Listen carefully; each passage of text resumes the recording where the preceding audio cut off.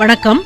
பிகினர்ஸ்களுக்கான இந்த வீடியோவில் நாம் இப்போ பார்க்க போகிறது இப்போ ஒரு ஃபேன்சி சாரிக்கு மேட்ச் ஆகிற மாதிரி நம்ம பேக் சைடில் மாடல் பண்ண போகிறோம் அந்த மாடல் பிகினர்ஸான உங்களுக்கு ரொம்ப ஈஸியான முறையில் தைக்கிற மாதிரி உள்ள மாடல் அதுவும் அந்த மாடல் போட்டால் ரொம்ப கிராண்டாக இருக்கும்.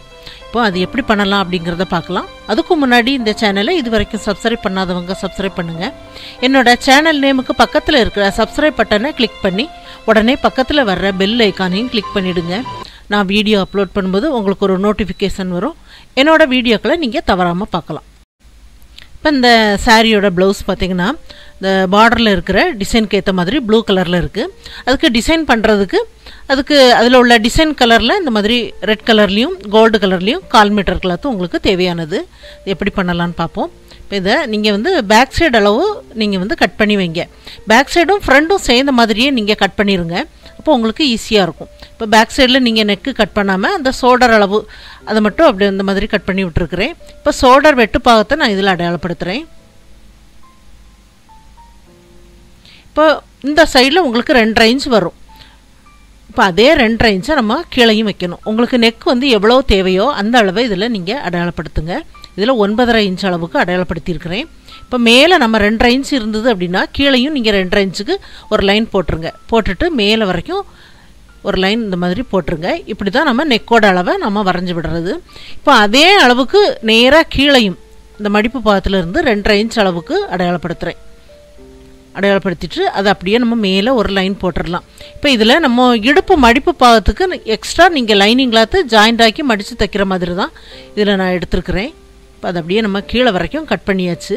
இப்போ இந்த நெக்கோட அளவு இருக்குது பாருங்கள் அந்த பகுதியில் அந்த மாதிரி கட் பண்ணி எடுத்துருங்க. இப்போது மேலே உங்களுக்கு கால் இன்ச்சு நம்ம கீழே வரைக்கும் நம்ம தச்சு விடுவோம். அப்போ இந்த ஜாயிண்ட் பகுதியில் உங்களுக்கு கால் இன்ச்சு கம்மியாகுது. இப்போ முதுகு பாகத்தில் இந்த சென்டரில் நம்ம கட் பண்ணி எடுத்த பீஸ் வந்து மடித்து வச்சுருக்கும் போது உங்களுக்கு ரெண்டரை இன்ச்சு நம்ம கட் பண்ணி எடுத்துருக்குறோம். இப்போ சைடில் கால் இன்ச்சு போகும்போது நீங்கள் லாஸ்ட்டில் தைக்கும்போது இப்போது மடித்து பார்த்தா உங்களுக்கு ரெண்டே முக்கால் இன்ச்சு அந்த மாதிரி அளவு நமக்கு லாஸ்ட்டாக முடிக்கும்போது இருக்கணும். அந்த மாதிரி நம்ம தைக்கணும். இப்போ இது ரெண்டு சைடு உள்ள பீஸும் இந்த மாதிரி தனித்தனியாக இருக்குது லைனிங் கிளாத்தும் சேர்ந்த மாதிரி கட் பண்ணி விட்டுருக்குறேன். இப்போ இதில் நமக்கு டிசைன் பண்ணுறதுக்காக ஒரு சதுரமான பேப்பர் கேன்வாஸ் எடுத்து வைக்கலாம். அது அப்படியே நாலாக மடிச்சிருக்கிறேன். நாலாக மடித்ததுக்கப்புறம் இந்த கார்னர்லேருந்து ஒரு சைடு ரெண்டே கால் இன்ச் அளவுக்கு அடையாளப்படுத்துகிறேன் அதே மாதிரி இந்த சைட்லேயும் இந்த கார்னர்லேருந்து ரெண்டே கால் இன்ச்சுக்கு அடையாளப்படுத்திடுங்க நம்ம அடையாளப்படுத்தி விட்டுருக்கத அந்த மாதிரி கிராஸில் ஒரு லைன் போட்டுட்டு அப்படியே நீங்கள் கட் பண்ணி எடுங்க. இப்போ இதை விரித்து பார்க்கும்போது உங்களுக்கு ஸ்கொயராக உள்ளுக்கு கட் ஆகிருக்கும் இப்போ இதை நம்ம லைனிங் கிளாத்தில் வச்சு அயன் பண்ணலாம்.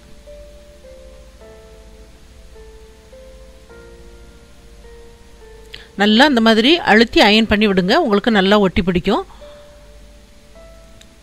இப்போ இந்த பேப்பர் கேன்வாஸோட அளவு மொத்த அளவு பார்த்திங்கன்னா சமசதுரமாக ஆறரை இன்ச் அளவுக்கு அந்த பேப்பர் கேன்வாஸ் எடுத்து தான் உள்ளுக்கு நம்ம கட் பண்ணி எடுத்தது. இப்போ சைடில் உள்ள இந்த பீஸு லைனிங் கிளாத்தையும் மேல் பக்க கிளாத்தையும் சேர்ந்த மாதிரி வச்சு நம்ம தைச்சி விடலாம்.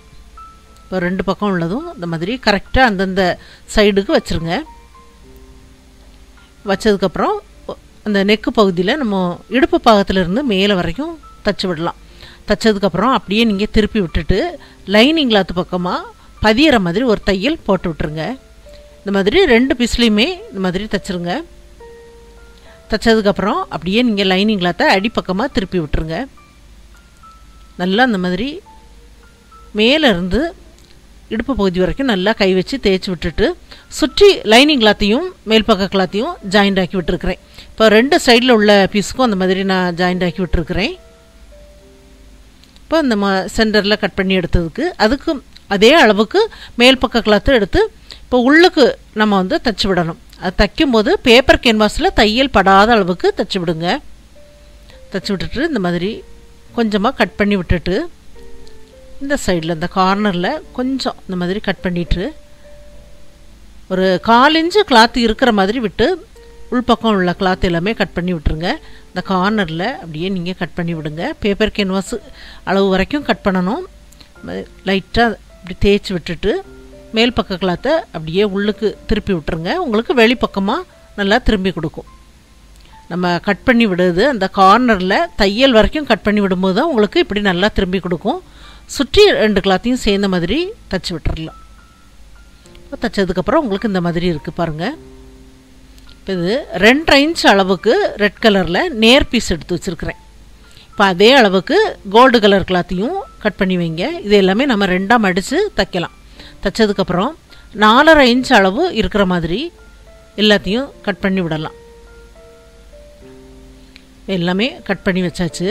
கட் பண்ணி வச்சதுக்கப்புறம் இதே அளவுக்கு ஒரு லைனிங் கிளாத் எடுத்து உள்பக்கம் உள்ள அளவை அப்படியே நம்ம அதில் அடையாளப்படுத்தி விடலாம். இப்போ இதில் லைன் தெரியுது. ஃபஸ்ட்டில் இந்த லைனில் இருந்து அப்படியே நம்ம ஒவ்வொரு பீஸாக ஜாயிண்ட் ஆக்கலாம். சைடில் ரெண்டு பக்கமும் அந்த கிளாத் வந்து உங்களுக்கு எக்ஸ்ட்ரா இருக்கும். அந்த லைனுக்கும் சைடில் இருக்கும். அந்த மாதிரி ஒவ்வொரு பீஸ் வைக்கும்போதும் ஒரு பீஸ் வந்து கால் இன்ச்சு தெரியிற மாதிரி அடுத்த பீஸை வச்சு விடுங்க. அப்படியே அடுக்கிற மாதிரி எல்லா பீஸையுமே நீங்கள் தைச்சி விட்டுறலாம். பாருங்கள் இந்த மாதிரி இருக்கும். இப்போ இது நீங்கள் வச்சு பார்க்கணும். வச்சு பார்க்கும்போது நமக்கு கரெக்டான அளவுக்கு நம்ம தைச்சிருக்கோமா? இன்னும் ரெண்டு பீஸ் நமக்கு வைக்க வேண்டியது இருக்கா? அப்படிங்கிறத நீங்கள் செக் பண்ணிவிட்டு சைடில் ஜாயிண்ட் ஆக்கி விடுங்க. ரெண்டு சைட்லேயும் இந்த மாதிரி ஜாயிண்ட் ஆக்கி விட்டுறலாம். இப்போ இதை சரியான அளவுக்கு நேராக பார்த்து இந்த மாதிரி வச்சுருங்க. வச்சுட்டு சுற்றி நம்ம ஜாயிண்ட் ஆக்கி விட்டுறலாம்.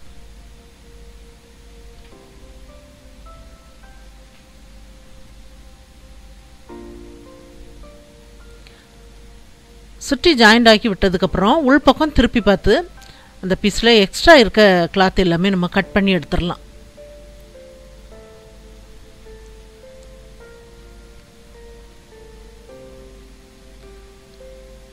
கொஞ்சமாக கிளாத்தை விட்டுட்டு கட் பண்ணியிருக்கிறேன். பாருங்கள் இந்த மாதிரி இருக்குது கால் இன்ச்சு இடைவெளி விட்டு இன்னொரு தையல் போட்டுருங்க.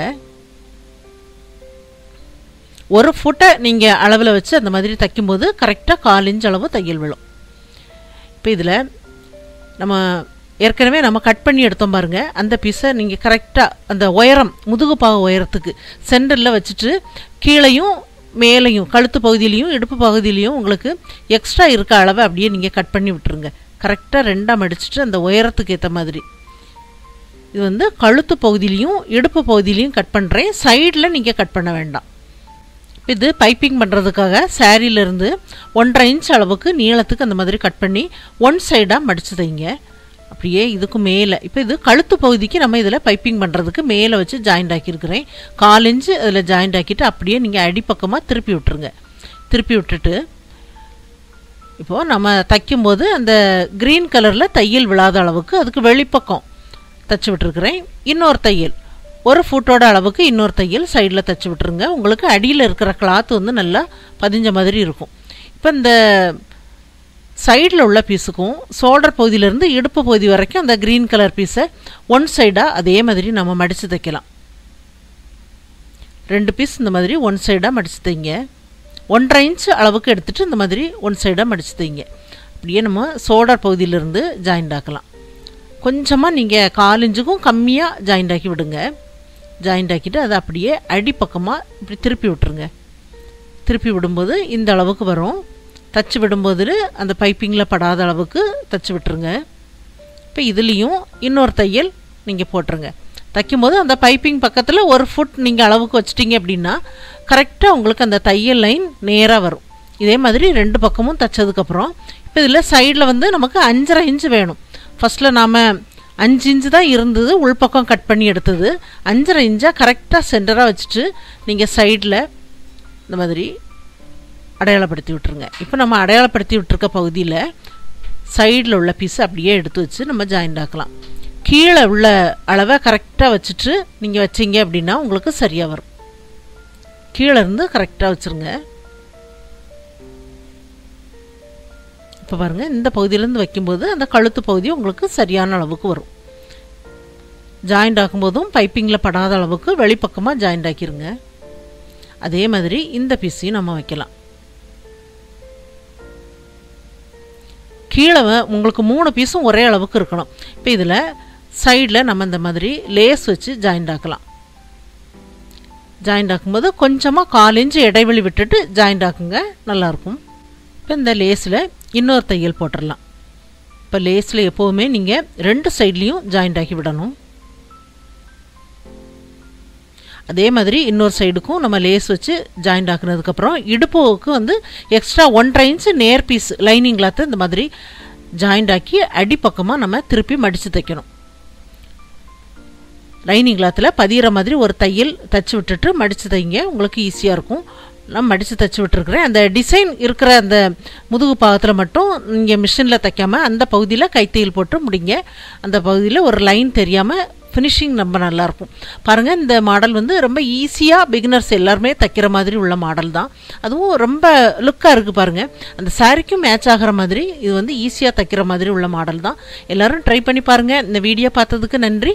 மேலும் வீடியோஸ் பார்க்க இந்த சேனலை மறக்காமல் சப்ஸ்கிரைப் பண்ணுங்கள்